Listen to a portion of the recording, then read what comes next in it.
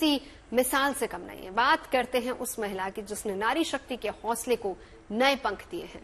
बिल्कुल, वक्त और हालात के आगे खुद फिर से खड़ा करके ज़िंदगी के सफ़र पर निकलना आसान नहीं होता है। लेकिन शबनम नाम की महिला ने ये कर कर दिखाया है। देखिए, शबनम की इसी हौसले की कहानी।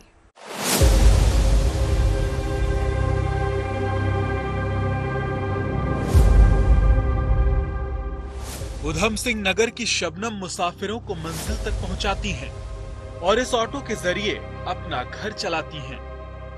पति ने साथ छोड़ा और जब ज़िंदगी में दुश्वारियों का सामना हुआ, तब शबनम ने मुश्किलों के बीच अवसर तलाशा और इस ऑटो रिक्शा के ज़रिए अपना घर चलाने का फैसला किया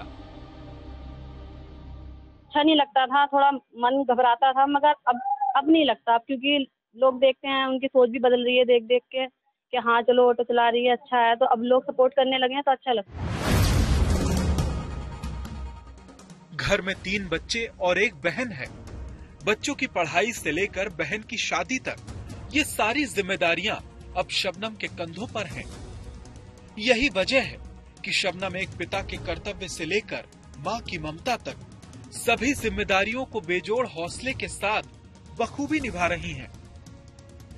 कहीं भी कोई भी काम करो, परेशानियाँ आती हैं, पर ये है, कितनी भी चाहे परेशानी आ जाए, मगर पीछे नहीं हटना चाहिए, आगे बढ़ना चाहिए। आज देश में महिलाएँ हर क्षेत्र में बढ़ चढ़ कर हिस्सा ले रही हैं।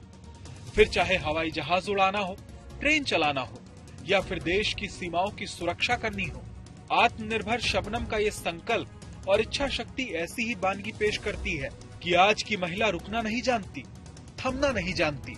उसे मुश्किलों के बीच रास्ता तलाशना आता है। नई पहचान बनाना आता है। उधम सिंह नगर से रमेश चंद्रा के साथ bureau report, good news today.